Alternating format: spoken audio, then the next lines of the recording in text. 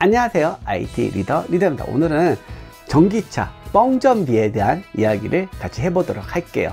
최근에 논란거리가 하나 생겼죠. 테슬라 모델 Y 같은 경우 최대 인증 주행거리보다 작게 나온다. 이런 목소리들이 많이 나오고 있죠. 그리고 또 어떤 차들은 최대 인증 주행거리보다 더 많이 가는데 왜 이렇게 작게 나오냐? 이렇게 이야기를 하면서 환경부 인증이 뻥이다 그건 잘못된 거다. 이런 목소리들이 있습니다. 그런데 정말 잘못된 걸까요? 그거는 다시 한번 생각을 해볼 필요가 있습니다. 자 제가 쉽게 알려드리도록 할게요. 일단 환경부 인증은 환경부가 직접 인증을 하는 그런 구조는 아닙니다. 전문 시험 기관에서 인증을 하고 그걸 가지고 신청을 하면 인증을 허가를 해주는 거예요 그러니까 믿을 수 있는 공인된 인증 검사소에서 검사를 하고 그거를 승인을 해주는 구조입니다. 그런데 환경부가 잘못된 평가를 했다. 이렇게 이야기한다는 것은 환경부를 떠나서 그거를 평가했던 그 전문가들은 전문가가 아니라는 그런 생각을 갖고 접근하는 거죠. 그러니까 그 기관에 대해서 신뢰하지 못한다는 게 이제 가장 큰 문제인 것 같아요. 그리고 두 번째로 말도 안 되는 인증을 받으면은 그러면 제조사들은 가만히 있을까요? 예를 들어서 내가 1000km 가는 전기차를 만들었어요. 그래서 인증을 받으려고 냈어요. 그런데 100km 밖에 못 간다고 얘기를 해요. 그러면은 그 실험에 대해서 의문을 제시할 수밖에 없겠죠. 왜 이렇게 결과가 나왔는지. 그러니까 지금 나와 있는 그런 주행 거리들은 제조사들도 인정을 하는 부분이에요. 터무니없이 그 인증 주행 거리가 나온 게 아닙니다. 내 기술의 잣대가 될 수 있는 어떻게 보면 전기차의 가장 중요한 기술의 잣대가 될 수 있는 최대 주행 거리가 잘못 측정된 결과로 인증을 해준다. 그럼 제조사들이 아네 인정하겠습니다. 이렇게 할까요? 아니에요. 그거는 자동차의 그 전문적인 인력과 검사 기관의 인력과 어느 정도 공감대가 형성이 되었기 때문에 그거를 인정을 하는 거고요. 그리고 지금은 어떤 세상이죠? 글로벌 시대죠. 우리나라만 인증을 하나요? 미국의 EPA 그리고 가장 후하기로 유명한 WLTP 기준이 있죠.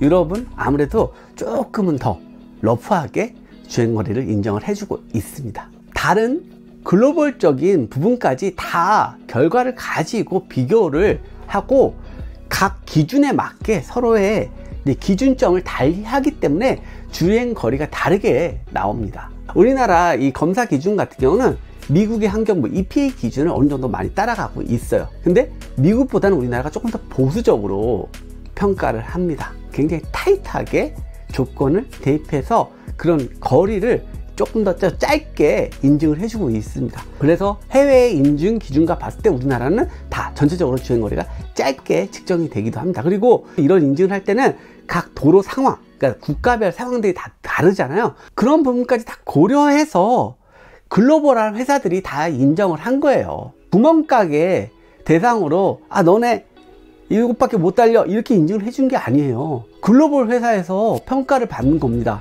현대차도 미국에 가서 인증을 받는 거고 유럽에 가서 인증을 받고 우리나라에서 인증을 받고 이 부분의 전문가들이 측정을 한 결과를 가지고 평가를 하는 거예요. 물론 이게 아주 정확한 건 아니죠. 하지만 그 여러 가지 납득할 수 있는 실험 결과를 가지고 공인 인증 주행거리를 이렇게 인증을 해주는 거예요. 공인이 들어갔잖아요. 나라에서 인정한. 이건 굉장히 중요한 겁니다. 이거는 내연기관차 때도 마찬가지예요. 공인 연비라고 있잖아요. 옛날에 우리나라도 뻥연비 이슈가 되게 많았습니다. 리터당 10km를 갈 수 있다는데 실제로 해보니까 뭐 5, 4, 막 이렇게밖에 못 가는 거예요. 그러니까 뭐라고 나왔냐면은 돈을 먹여서 그렇게 했다. 근데 지금 테슬라가 어떻게 보면 공인연비가 굉장히 길게 나오죠? 그렇게 따진다면 테슬라가 뭐 돈을 주고 매수를 했다고 밖에 볼 수 없는 거예요. 그리고 이런 실험 같은 경우는 절대적으로 변하지 않는 기준에 입각해서 실험을 합니다. 예를 들어서 거리에서 실험을 하면은 실험 조건들이 너무나 많이 달라질 수밖에 없어요. 주행거리는 여러 가지 조건에 의해서 많이 달라질 수 있습니다. 예를 들어서 맞바람이 치는 상황이에요. 그런 경우에는 주행거리가 더 짧아질 수밖에 없습니다. 우리가 자전거 탈 때 맞바람이 칠 때 자전거를 타보세요. 엄청 힘들죠. 자동차도 마찬가지예요. 근데 환경은 바람이 어떻게 불지도 모르고 여러 가지 변수들이 굉장히 많습니다. 그리고 또 교통 흐름에 따라서도 또 너무나 큰 차이가 벌어지기도 하고요. 그리고 전기차 같은 건 배터리용에서 사용이 되잖아요. 이 배터리 특성 자체가 고속으로 달릴 때 급격하게 에너지 소모가 일어납니다. 근데 그거는 자동차마다 세팅 값이 또 다르기 때문에 서로 다른 기준이 있는 거예요. 어떤 차는 고속 주행을 할 때 조금 더더 전력 소비를 줄일 수 있는 그런 기술을 가지고 있어서 그런 것들을 특화한 모델이 있을 거고 어떤 차는 또 저속일 때 전기를 더 적게 먹는 기술을 넣을 수도 있고요. 테슬라 같은 경우는 그 회생 제동 옵션을 따로 두지 않잖아요. 다른 데는 뭐 D 모드, B 모드 이런 식으로 해서 one pedal driving을 할 수도 있고 예전 내연기관차처럼 driving 할 수도 있고 이런 선택 옵션들을 제공하는데 테슬라는 그렇게 하지 않죠. 그냥 무조건 회생 제동이 최대로 걸릴 수 있게끔 그렇게 설계를 해서 나오고 있습니다. 그거는 최대한 더 멀리 갈 수 있게 그런 쪽에 포인트를 두고 기술을 집중한 거예요. 그런데 그게 모든 사람들에게 다 만족스러운 기술은 아니잖아요. 그러니까 그런 기술이 꼭 테슬라를 좋게 보인다는 부분은 아니에요. 하지만 테슬라의 방향성은 최대한 주행거리를 더 멀리 갈 수 있는 기술을 넣었다. 이런 쪽에 포인트를 두면 될 것 같고 뭐 BMW라든지 포르쉐라든지 이런 애들은 더 빠르고 더 승차감 좋고 그 기민한 드라이빙을 할 수 있는 그런 매력들을 제공하고 있잖아요. 그러니까 자동차마다 성격들을 달리하는 것 뿐이지 그런 부분에서 뭐 어떤 게 잘 됐다 잘못됐다 이렇게 평가할 수 있는 부분은 아니다. 물론 우리가 이렇게 목소리를 제공해서 더 실험 기준을 현실화 시킬 필요는 있겠죠. 왜냐하면 지금 전기차는 이제 시작 단계예요 지금까지 이런 기준이 맞았을 수는 있지만 앞으로는 또 다른 실험 조건 기준이 들어갈 수도 있습니다.